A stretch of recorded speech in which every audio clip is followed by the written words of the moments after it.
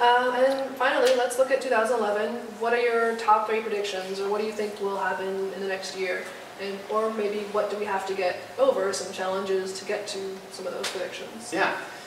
Well, gosh, Where do you start? will there be 3D video conferencing everywhere or not? I think not, Oh. actually. Sorry. I think that that we will see the, the market become more specialized. Manufacturers like Cisco that try to hit the whole gamut, right? They try to do everything. They make, you know, little video cameras, they make cell phones.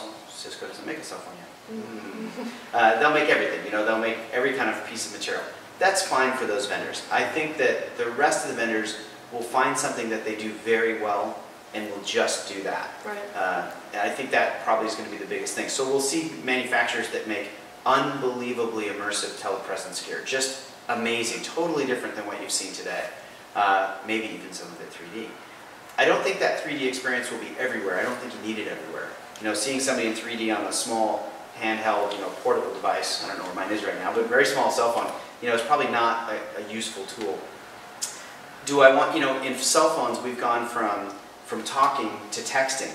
Right. Why would we then go up to video, which is kind of above talking? Right. I think in some cases that's useful, but probably not in the, in the bulk of the communication that we do. So like I say, I think things will become more specialized. Uh, we'll see cell phones that are made for video conferencing. We'll see cell phones that are made for texting. Mhm. Uh, and they'll be very different devices. I think pads are going to take off, kind of my second prediction. I think tablets are amazing. Uh, I think Microsoft will kind of re-enter the tablet market, which is funny because Microsoft kind of led the tablet Right. charge and then we had to wait for the iPad and the Kindle. But I think that, you know, tablets are really going to be great, especially for video conferencing where I can just hold it and talk to someone, set it down, maybe, you know, pop it up on the wall of my cube. Very, very, very useful little device, very inexpensive, you know, a few hundred dollars. Uh, I think that technology will really explode in 2011.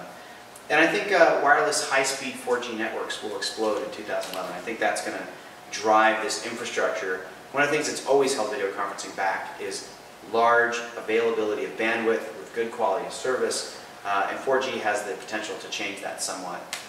And then kind of my last prediction, I think we'll see a significant change in the underlying infrastructure of the carriers. So the Sprints, the AT&T, you know, those guys, today they're all kind of separate little islands. So if you have an iPhone, you can use um, FaceTime, but only on Wi-Fi through Apple's network. Uh, on Sprint, you can use the Evo phones, but only to talk to another Evo phone. Those kind of closed networks are a little dysfunctional for broadband video conferencing, and I think we'll see a significant crossover of that technology into a manufacturer. Potentially even one of the larger manufacturers buying a network carrier, or conversely, uh, to get into this market. So I think 2011 will see a big change in the carrier market.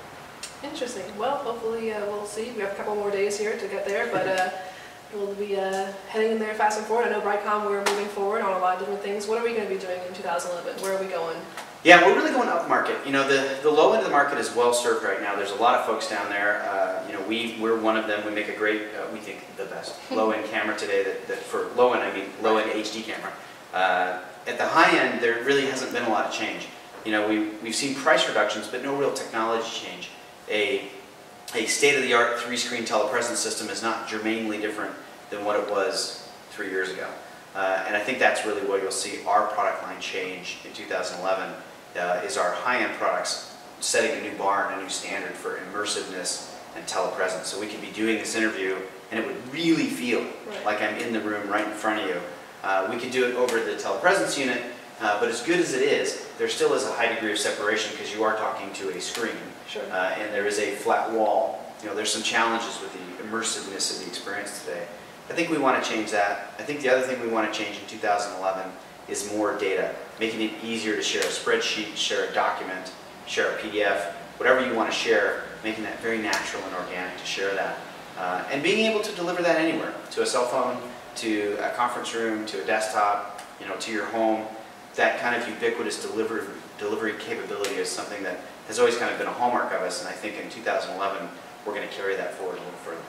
Excellent. We'll look forward to a good year then. Perfect. Right. Well, thank you very much for, for listening to us today. And uh, if you have any more questions about Brightcom or the telepresence and video conferencing industry, you can always reach us at www.brightcom.com. Thank you and Happy New Year. Happy New Year!